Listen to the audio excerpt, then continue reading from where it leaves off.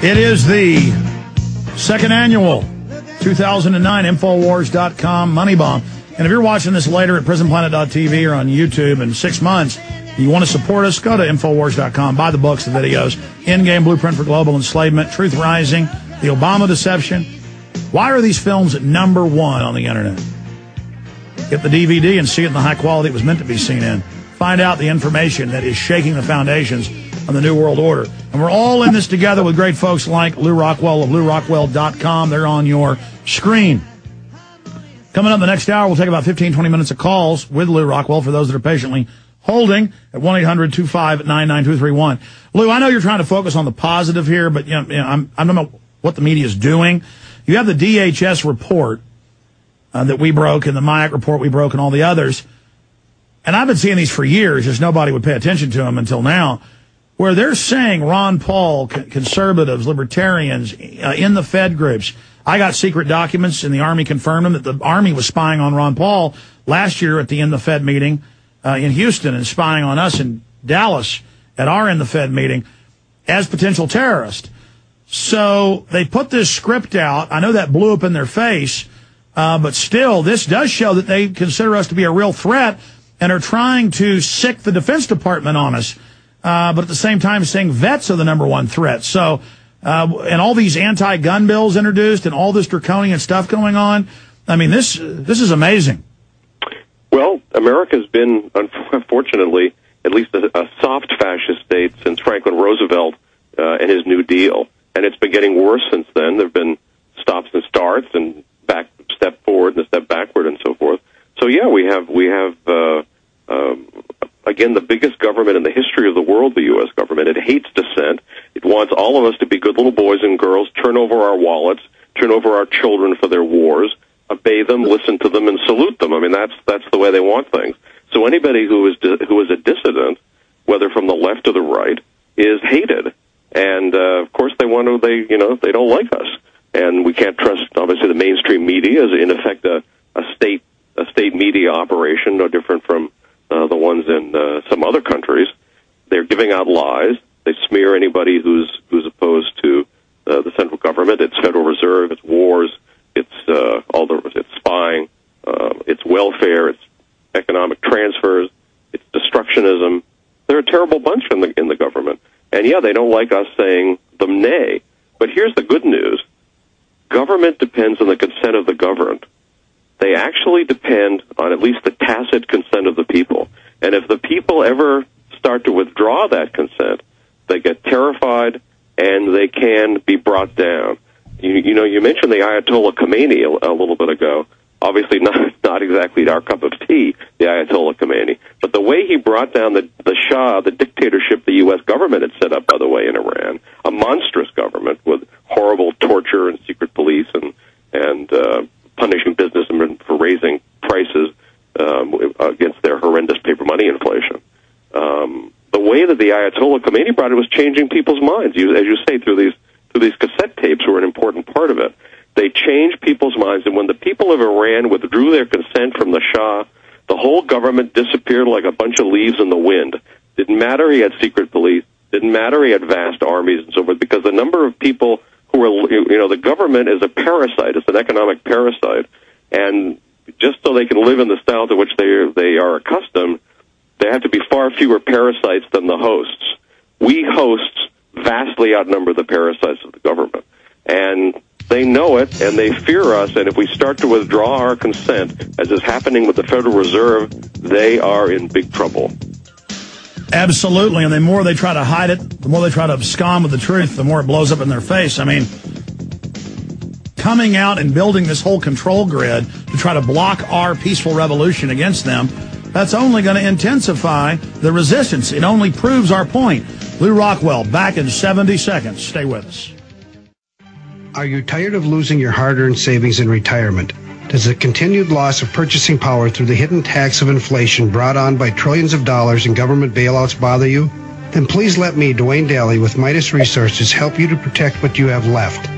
Call me at 800 686 2237 extension 115 and I will explain to you how to retain your wealth and purchasing power now and in the future with gold and silver. Gold and silver have been a form of currency for 6,000 years compared to our present fiat currency, which has only been in existence for 38 years and failing fast.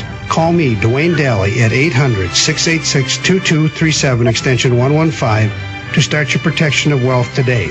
I will custom fit the protection package to your personal needs. No amount is too small, so start today. Call Dwayne Daly with Midas Resources at 800 686 2237 extension 115 for your gold and silver protection portfolio. Lew Rockwell of LewRockwell.com of the Von Mises Institute, one of Ron Paul's right hand men, is uh, joining us today for another 20 minutes or so. Let's take a few calls in the next segment. Mr. Rockwell, you know, you say people are waking up to the tyranny, and I agree with you. I see an awakening that's exponential, it's parabolic. But the system doesn't care. And it's got a lot of brainwashed paramilitary police on power trips who'll do what they're told. I remember watching Governor Ridge six years ago. Homeland Security just been set up publicly. As we know, Clinton gave speeches about it in 93 and 94. How Northcom, how they wanted to set it up and have an army on the streets of America. This has all been planned bipartisan.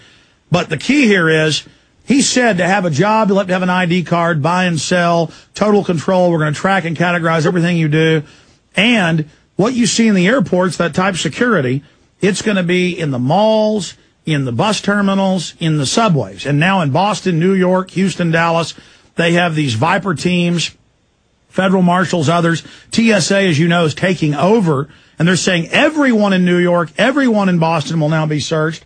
I have, um, path stations to run security screening test, cutting edge passive millimeter wave technology. This is the one that scans your naked body, puts it on a hard drive. I mean, it's more human than human. I say more human. It even shows the pores on a woman's breast and your genitalia.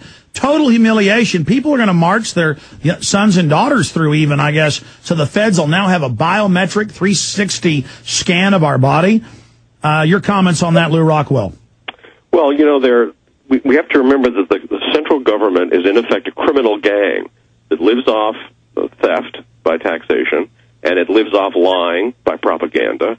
And there's no end to what they would like to do to us. So yes, this the uh, nude pictures at the airport and so forth, where they're all, I'm sure, yucking it up uh, and passing things around, um, is just that's. I mean, it's it's a peek at what the government is like. But it's you know, so you sort of think of like the mafia only the mafia, I don't want to condemn the mafia too much because they actually provide services people want to buy. The government doesn't provide services people want to buy. That's why it wants to use force to get your money. Uh, so the, again, again, this is a bunch that thinks nothing, for example, of killing a million people in Iraq. And exactly. How, unfortunately, not too many Americans care about that either. They're killing people in Afghanistan. They have these 700 military bases all over the world, and you know it, it's uh, it's a killing operation as well as a theft operation, the government. So I think we all have to realize that nothing is beyond them, and the only way that we have any chance of holding them back is by teaching ourselves, by learning what's going on, by reading, by watching, and by being being observant and just becoming aware of everything and not buying any of their tricks. Uh, I mean, uh, let's exactly talk about some of their right. tricks because they have constant tricks. But for those that don't know, the news only shows you a still image on the screen of, of your genitalia and says, "Yeah, you're naked" to set that precedent of humiliation. Taking the shoes off is a submission ritual. I've read their psychological warfare documents on that that have been leaked. It's all about training you to be a slave to answer questions to be lined up. But what they really have is a 360 naked image of you for their biometric cameras to identify you on the street. Go ahead, Lew. Well, it's true, and I, you know, that whole shoe business is, of course, ridiculous. I have a friend who said, "Thank goodness that guy didn't uh, uh didn't try a pants bomb, you know, rather than a shoe bomb." So it's uh, yeah, the you know, if you go to the airport, you understand exactly how the federal government would like all of society. That is, you're in line, you're subservient, if you even look them in the eye, you're in danger. You have to do everything they say. You're, there's no freedom of speech, and it's all socialized. Of course, it's a socialist. It's the way communism is run. The TSA is a is a socialist operation, like everything else from the federal government. The Pentagon, they're all, they're, these are all socialist operations, and just as like socialism all over the world, national socialism, international socialism. Uh, this is a, a very crude, a very uh, a brutal bunch and you know they would like us all to be their victims. However, we don't have to be their victims. Well, what about Tenth Amendment challenges to the TSA waddling around with their illegal alien screeners and that's come out in the news. A lot of them are illegal aliens. Yeah, well, magnificent Tenth Amendment challenges. Yeah, yeah. Stay there. Lew Rockwell. Always amazing to talk to Lew Rockwell. Your call's coming up and a lot more. I'm Alex Jones. The InfoWars Money Bomb is in full swing. Stay with us.